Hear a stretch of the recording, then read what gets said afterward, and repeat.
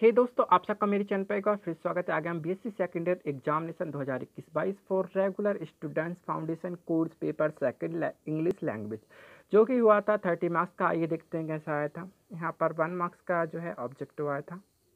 आप वीडियो को रोक रोक कर भी देख सकते हैं, ठीक है? वीडियो ज़्यादा लंबा ना हो, इसलिए मैं थोड़ी जल्दी जल्दी कर रहा हूँ। अच्छे से जो है देख लेना है। यहाँ पर आया था टू मार्क्स का, जो कि आपको छः नंबर के थे।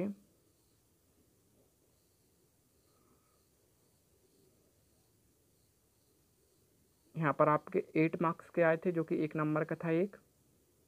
इसमें डूडस जो है डिस्ट्रैक्टेड था, ठीक है, यहाँ पर इसको करना था अच्छे से सेंटेंस बनाने थे।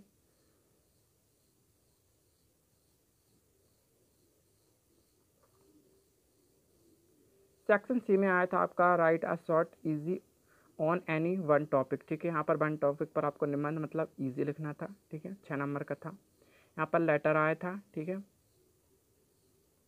यहाँ पर ट्रांसलेट करने के लिए आया था, जो कि इंग्लिश में ट्रांसलेट करना था, ये तो आता ही है, ठीक है?